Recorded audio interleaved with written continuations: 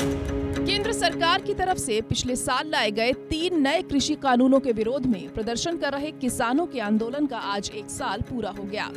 इस मौके पर काफ़ी संख्या में किसान दिल्ली बॉर्डर की ओर रुख कर रहे हैं।